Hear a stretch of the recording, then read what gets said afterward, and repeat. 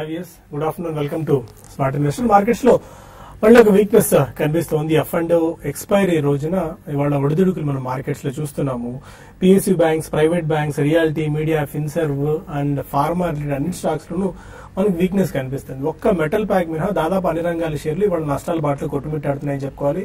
Just ఒక ten points away from intraday లో ఇవాళ ఇంట్రాడే లో is ten thousand six eleven almost ఒక ten points away from its ఇంకా చెప్పాలంటే twelve points away from it. Ten thousand six twenty three level దగ్గర ప్రస్తుతం Nifty కొనసాగుతుంది. దాదాపు యాభై పాయింట్ల నష్టంతో. అండ్ యూరోపియన్ ఇండస్ట్రీస్ కూడా ఆల్మోస్ట్ వీక్ గానే కనిపిస్తున్నాయి. So maybe ten thousand six hundred to six fifty మధ్య ఇవాళ క్లోజ్ అయ్యే అవకాశాలు కనిపిస్తున్నాయి సిరీస్లో అండ్ చాలా స్టాక్స్ ఇవాళ ఫిఫ్టీ వీక్లో టచ్ అయిన నంబర్స్ చూస్తున్నాం. దాదాపు మూడు వందల అరవై మూడు స్టాక్స్ ఉన్నాయి. పంతొమ్మిది పేజీలు మనకి ఎన్ఎస్సి లిస్ట్లోకి వెళ్ళి చూస్తే ఫిఫ్టీ వీక్లో నంబర్ పంతొమ్మిది పేజీల్లో స్టాక్స్ ఉన్నాయి.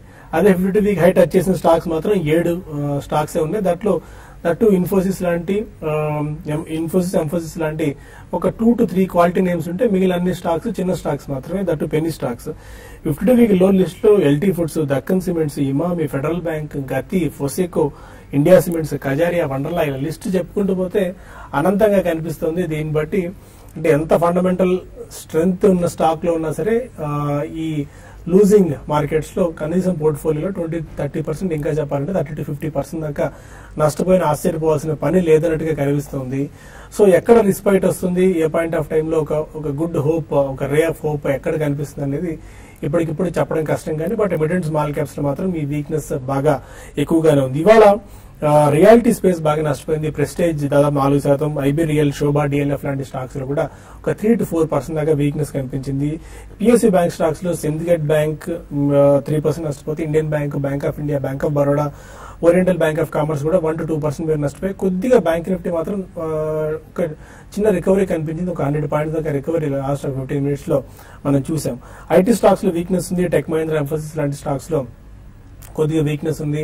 షుగర్ రిలేటెడ్ స్టాక్స్ అన్ని కూడా వీక్గా కొనసాగుతున్నాయి. ఇవాళ ఫిఫ్టీ వీక్లో టచ్ చేసిన స్టాక్స్లో షుగర్ రిలేటెడ్ స్టాక్స్ కూడా అధికంగా ఉన్నట్టు మనం గమనించాలి. సీజీ పవర్ పది శాతంగా పెరిగింది నాలుగు వక్రంజి కంటిన్యూస్గా గెయిన్ అవడం చూస్తున్నాం. ఇవాళ కూడా five percent upper ceiling sixty three plus దగ్గర ఈ స్టాక్ ట్రేడ్ అవుతుంది.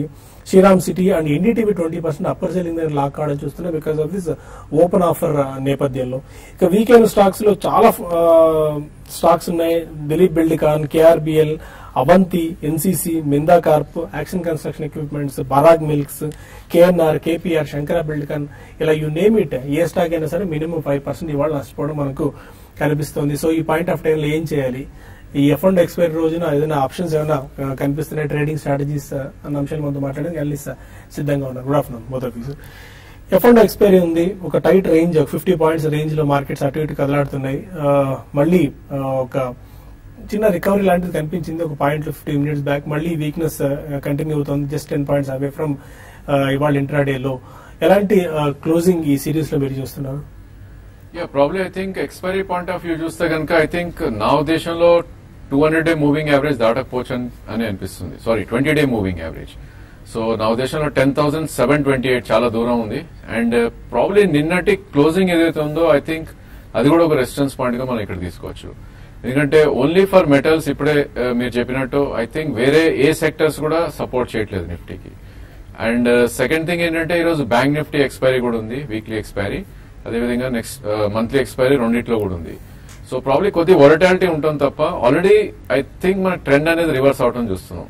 ఎందుకంటే ఎప్పుడైతే మనం టెన్ థౌసండ్ సిక్స్ నైన్టీ కింద క్లోజ్ అయిందో నిన్న డెఫినెట్లీ ఐ థింక్ మనం ఒక intermediate or maybe short term down ట్రెండ్కి వెళ్ళామని డెఫినెట్గా చెప్పుకోవచ్చు. బట్ ఓన్లీ రెస్పైట్ ఇక్కడ ఏంటి అంటే కనుక ten thousand five eighty seven I think probably అక్కడ ఒక క్లియర్ సపోర్ట్ ఒకటి కనిపిస్తుంది షార్ట్ టర్మ్లో అది కూడా.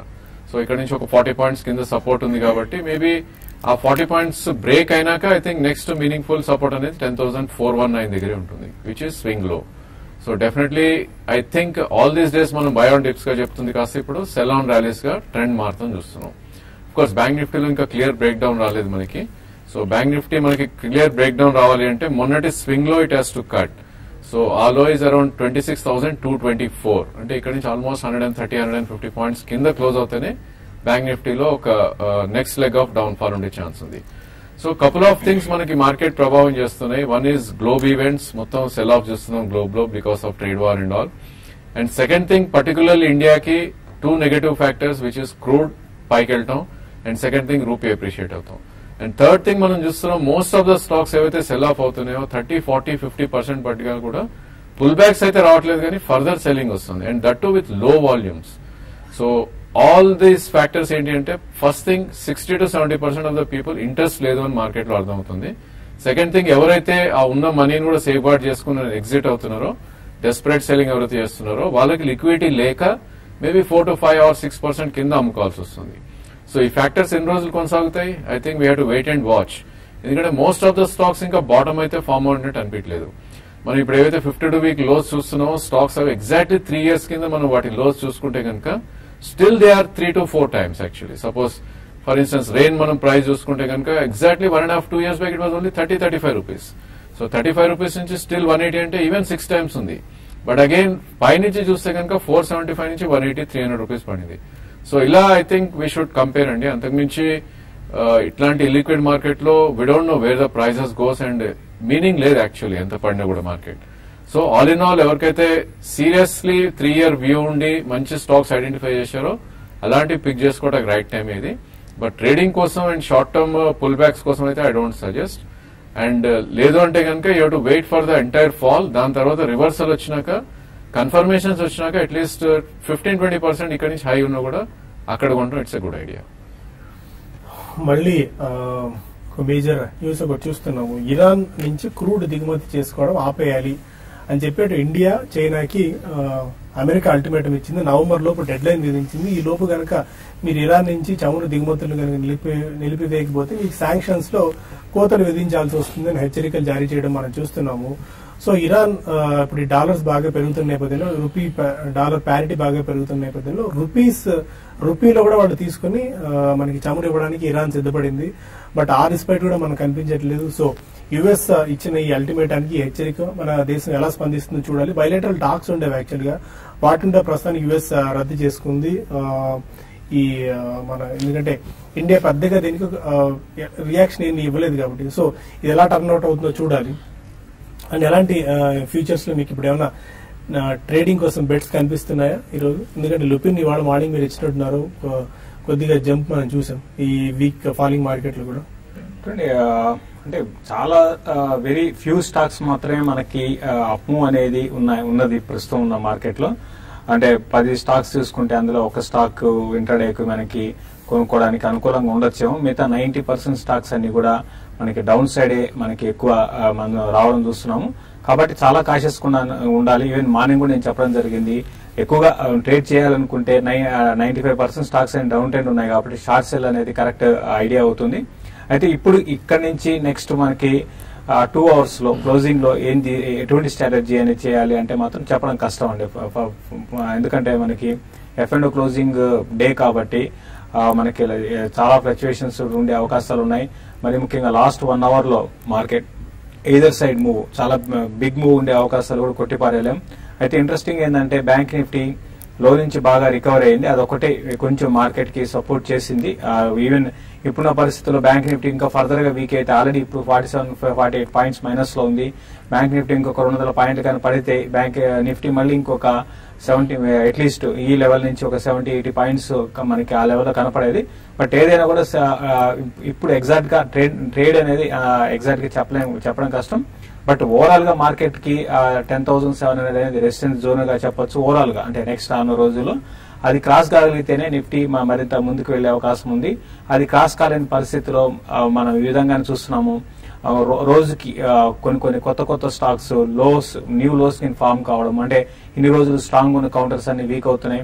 సో అది ఒక నెగిటివ్ సైన్ అనమాట ఏదైనా కూడా ప్రస్తుతానికి ఒకవేళ కొన కొనుక్కోవాలనుకుంటే మనం రిపీట్గా చెప్తున్నాం. ఫార్మా స్టాక్స్ కొనుక్కోమని చెప్తున్నాం. దానికి తగ్గట్టుగా మీడియా స్టాక్స్లో కొన్ని కొంత ఇన్వెస్ట్ చేసుకోవచ్చు. అటు టీవీ ఎయిటీన్ ఒకటి జీ ఒకటి ఇటువంటి స్టాక్స్ అది కూడా one and half year target పెట్టుకుంటేనే కొనుక్కోమంటాను. షార్ట్ అన్ విత్ ఎటువంటి బయింగ్ పొజిషన్స్ వద్దని చెప్తాను. మరి కొంతమంది కాలర్స్ లైన్లో ఉన్న ఫస్ట్ కాల్ హైదరాబాద్ నుంచి రవి కుమార్ హలో సార్. అడగండి రవి కుమార్ సార్ నమస్తే సార్. నమస్కారం, చెప్పండి. పర్సన్ బెవరేజెస్ అనేది నిన్న మంచి రిజల్ట్స్ ఇచ్చింది కదా సార్. అవును. అది ఇష్యూ కూడా జర క్లోజ్ అయింది కదా సార్. అది ఇక్కడ ఫస్ట్ ప్రైస్ పాయింట్స్లో తీసుకోవచ్చా సార్? అది లాంగ్ టర్మ్ కోసం ఒక టూ టు త్రీ ఇయర్స్ కోసం అది అయితే త్రీ టు ఫైవ్ ఇయర్స్ కోసం? కొంచెం చెప్పండి సార్ దాని గురించి. ఓకే అండి యాక్చువల్గా ఆడిటర్స్ కొత్త ఆడిటర్స్ వచ్చారు రిజల్ట్స్ ఇచ్చారు బట్ అవి ఎంతవరకు ట్రస్ట్ వర్తి అనేది నమ్మడం కష్టంగా అనిపిస్తుంది.